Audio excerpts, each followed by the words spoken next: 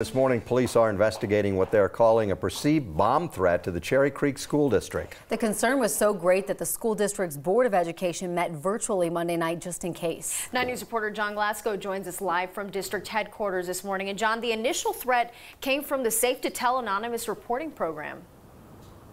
Yeah, a lot of tips come into that safe to tell reporting system, but one that's a bomb threat, that is something that the school district is going to take very seriously. So the Cherry Creek School District decided to move that meeting virtually. They also canceled a study session as well. The district not saying a lot about who made the threat or why, but what we do know is that the person behind it has a documented criminal history.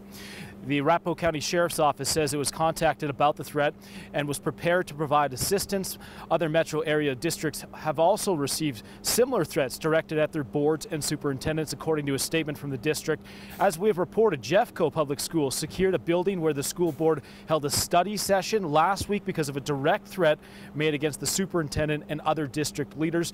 The person who left a phone message at the office was reportedly angry about the district's mask mandate. Now, in this latest threat with the Cherry Creek School District. We do not know the nature behind the threat, but it is something that the school district is taking seriously. John, what about other police departments in the area? Have they received any threats? That's a great question. In fact, we did ask uh, Lakewood Police as well as Aurora Police if they've received any bomb threats recently. They have not. And our partners over at the Denver Gazette, they reached out to Denver Police, but they did not hear a response back from them. All right, John, thanks for the update.